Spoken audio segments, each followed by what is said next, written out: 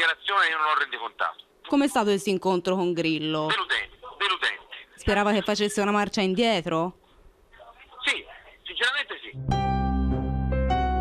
Abbiamo telefonato a Massimo Artini ieri sera, al termine di una lunga giornata, cominciata con un post al vetriolo sul blog di Beppe Grillo. Massimo Artini e Paola Pinna sono accusati di non aver fatto correttamente il rendiconto e qua si chiede alla rete il voto. La votazione sarà attiva fino alle 19. Sono passati pochi giorni da un'altra polemica, quella che ha coinvolto Walter Rizzetto, Tancredi Turco e Sebastiano Barbanti, rei di aver partecipato ad alcune trasmissioni televisive. Mi dispiace, non c'è nessuno strappo, mi dispiace per quelli che ci credono. No, no, non ci chiediamo, non ci chiediamo. È un caso che voi andate in televisione, poi Grillo viene fuori su questa vicenda dei rendiconti proprio adesso. Una volta c'era il vecchio adagio che recitava che si parli bene o che si parli male, si parli male, l'importante è che se ne parli.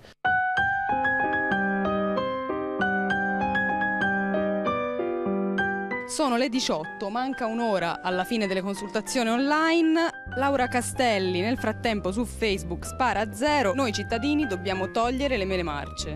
Casaleggio, lo suo staff ha deciso di distruggere il 5 Stelle perché è palese che sta cercando uh, come, di cancellarlo uh, a una velocità che devo dire la verità mi sta impressionando. Non c'è nessuno di voi che pensa a un nuovo leader.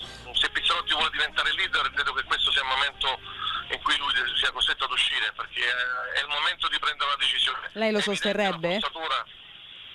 Ma, ma assolutamente sì.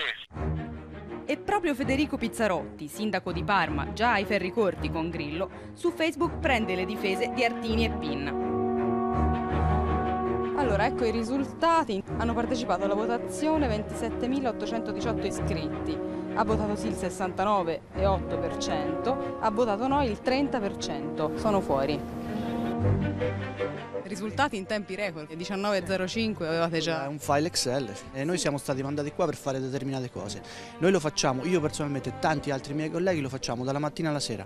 Purtroppo c'è qualcun altro che pensa altro. Ci sono delle gravi violazioni secondo il codice di comportamento, tra cui quella di non rispettare quella che è una decisione che era stata presa in precedenza, per cui questa è una delle gravi violazioni, è stata posta in votazione e questo è stato l'esito.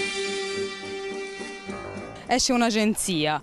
I ribelli vanno a parlare con Grillo, una delegazione guidata da Artini per chiarimenti su post il blog. Il faccia a faccia con Grillo a Marina di Bibbona dura alcune ore. A casa del comico ci sono sette parlamentari. L'incontro si conclude, ma resta l'amarezza. Com'è stato questo incontro con Grillo? Deludente, deludente. In studio